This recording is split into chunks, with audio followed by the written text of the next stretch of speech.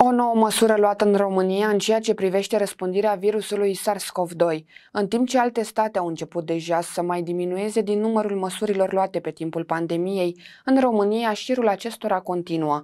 Protestele românilor se pare că au fost degeaba. Raed Arafat vine cu încă o măsură nouă, destul de benefică, spune acesta, în schimb în rândul cetățenilor nu aduce decât revoltă.